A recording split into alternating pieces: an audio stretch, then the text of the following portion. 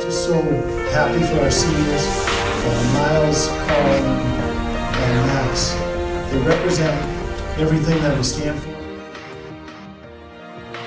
What a night it was here in Hartford as the UConn Huskies were able to defeat the number two nationally ranked UMass Minutemen 4-3 in their season finale while honoring their seniors on senior night.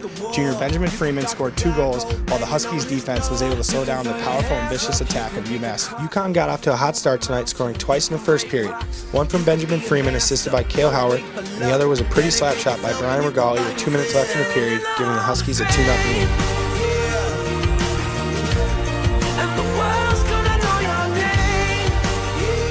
The Huskies quickly jumped out 3 0 by a pretty goal by Ruslan Iskaha, assisted by Johnny Evans.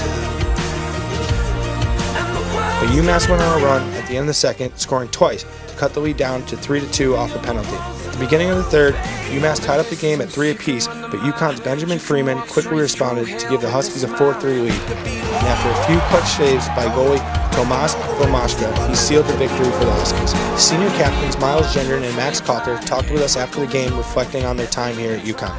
What's up, Miles? Can you talk about your four years here at UConn? I mean, it's pretty awesome uh, with this group of guys. Uh, I don't know, it's tough when you our senior class got dwindled down so much. So to have such a young group and watch them build, I mean, the, my evolution too, just from not playing very much to playing a ton here at the end. Uh, it's just it's just fun to grow and just be here and spend four years.